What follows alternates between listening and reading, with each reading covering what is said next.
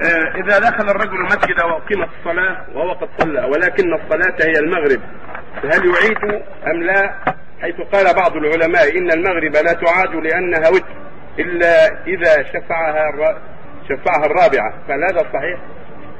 هذا نعم قاله بعض أهل العلم إن الوتر المغرب لا تعاد وترا ولكن تعاد شفعا ولكن الصحيح أنها تعاد كما هي وأن هذا قول لا وجه له النبي عليه الصلاة والسلام لما حذر من أمراء يؤخر الصلاه عن اوقاتها قال لأبي ذر ولغيره صل الصلاه لوقتها فإن أدركتها معهم فصلي فإنها لك نافلة ولا تقل صليت فلا أصلي.